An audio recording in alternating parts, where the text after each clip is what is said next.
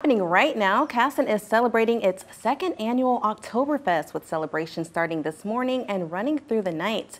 KIMT News 3's Brandon Coat joins us live from the festivities to share how the city's Oktoberfest grew from last year's. Brandon.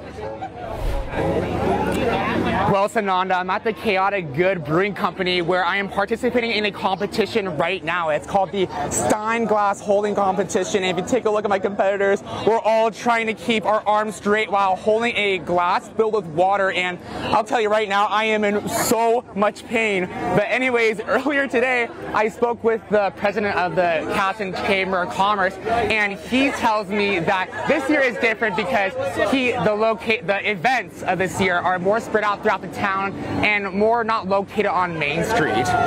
Last year's Oktoberfest centered around the city's American Legion.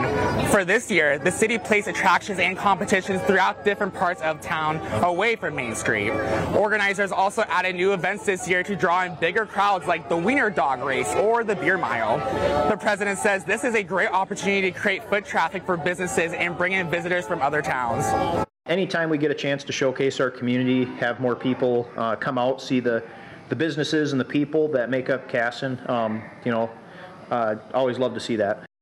Way to have half a Stein there, news guy. So to provide context of why he was wearing the dinosaur costume, it's actually kind of become a tradition because uh, for every three months, Kasson puts on city events like this, and he started wearing it, and the kids of the town started loving it, and they really follow him around every time, and it's a really fun tradition for him. But so if you're looking for anything to do and you're in the Kasson area, come on down to the city and enjoy Oktoberfest. Live in Kasson, Brandon Coat, KIMT News 3. Thank you, Brandon. I do hope you win.